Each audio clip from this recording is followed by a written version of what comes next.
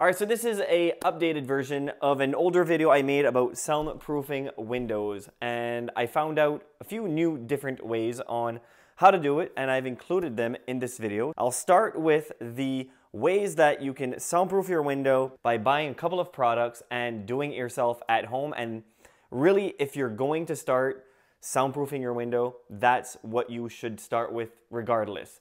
And then I'll talk about different ways to reduce noise from outside just by buying a few products that are a little bit more expensive, but that does work quite well.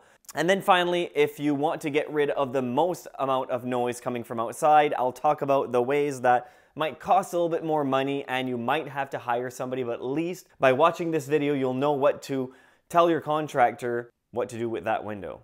So the first thing to do is to get rid of all the gaps and the cracks around the window. Houses will move, they will shift, and that will create cracks around the window frame and around the window. And those cracks, which might seem quite minor, they can let a lot of noise back into the room. So you have to seal them up. And how you do that is with acoustical caulking, acoustical sealant.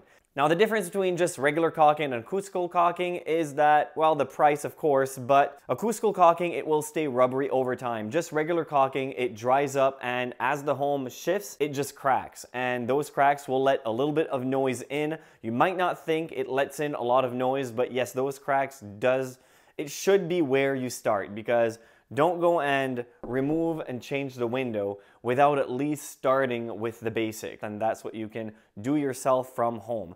All you'll need to buy is some acoustical sealant and a caulking dispenser and you're good to go. And I'll have links in description below of all of the products I talk about in this video.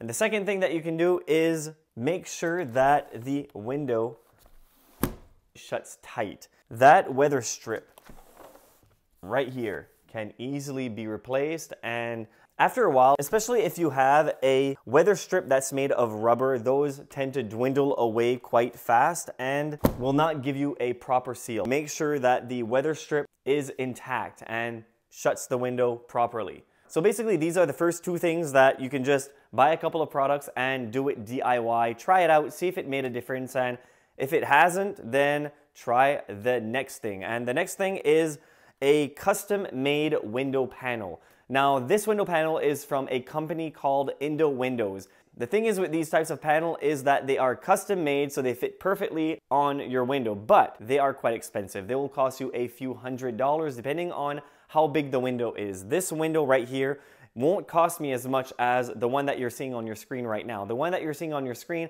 it was closer to between 500 and $1,000, so it's something to consider. However, these types of window panels actually works quite well. I was actually quite impressed as to how well they work. And video right there to see the complete test with a few crazy kids screaming and seeing if the window panel actually drowned that out.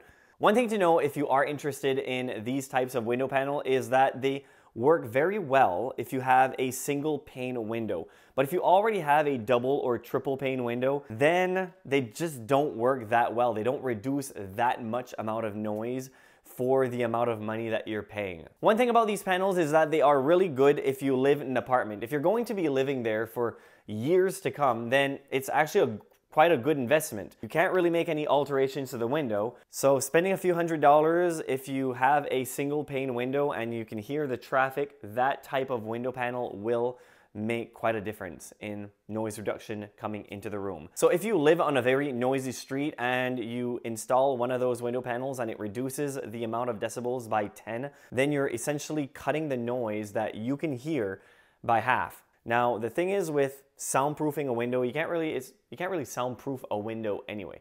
You can only reduce the amount of noise coming in by adding different layers of soundproofing. All right, so the next thing is sound deadening curtains.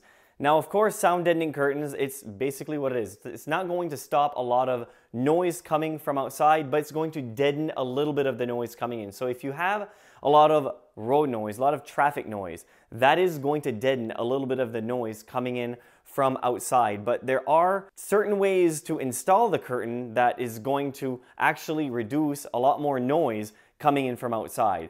One thing that you can do instead of buying two window panels is just to buy one big curtain.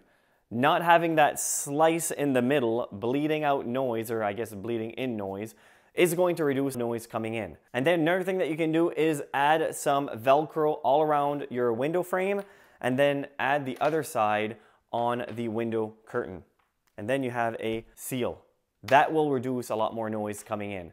A lot of people advertise these as soundproofing curtains. They're not soundproofing curtains, they're sound deadening curtains, and that's all it's going to do. It's going to deaden a little bit of the noise. But as I said, if you just buy one panel, you Velcro it all around, you can even double it up, it's going to reduce the amount of noise coming in. It's one thing that you can do, especially if you live in an apartment and again, your options are limited. One thing that also works better than a sound deadening curtain in this type of application are moving blankets. Moving blankets are thicker, there's usually fiberglass inside of them, and they work well at sound deadening the noise inside, but also works better than curtains to block the noise coming from outside. One thing if you're not going to use Velcro to attach the window curtain or the moving blankets, just make sure that it extends about 10 inches away from the window because it'll drown out a little bit more noise. Now I did a video a little while back on a soundproofing door panel. Now again, it's more of a sound deadening acoustical door panel. I was surprised at how much noise it actually blocked coming into the room because it's layers and layers of different types of soundproofing material and it's quite heavy. Now they do have those types of panels specifically for Windows. So that's another thing that you can think about. I'll have links, as I said, in the description below of all those types of products that you can check out. And these types of window panels aren't that expensive. They're not like the Indow window panels where it can range from 500s to a $1,000. It's more $100, $200. So it's something to consider. Now, it's time to rip that window out. If you can, if you don't live in an apartment and you don't mind spending some money changing the window. If you just have a single pane window, a lot of noise is coming right through that window. Then go ahead and buy a double or triple pane window. It all depends how much noise is coming in. Now, if you're wondering what is a double or triple pane window, what it is, is instead of just having one window, one panel, it has two or three. And in between those panels, there's a certain type of inert gas that helps reduce noise from coming in. It helps reduce noise, it helps with the climate, with cold and heat loss. They are more expensive than your single pane window. If you're really serious about soundproofing a wall and soundproofing the window, then going ahead and changing it from a single to a double or triple pane window will make a drastic difference. And finally, the last thing that you can do is just completely plug the window. Just plug it up. But really, who wants to do that? You're here because you want to learn how to soundproof the window.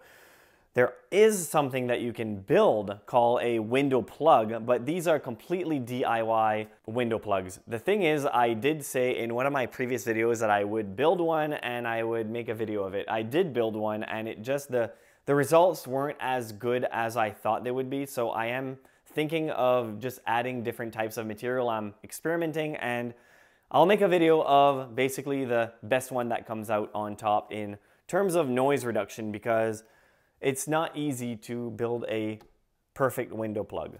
So stay tuned for that. All right, so let me know in the comment section below if you have any questions on soundproofing or sound deadening, and I'll do my best to answer them. Thank you very much for watching. Until next time.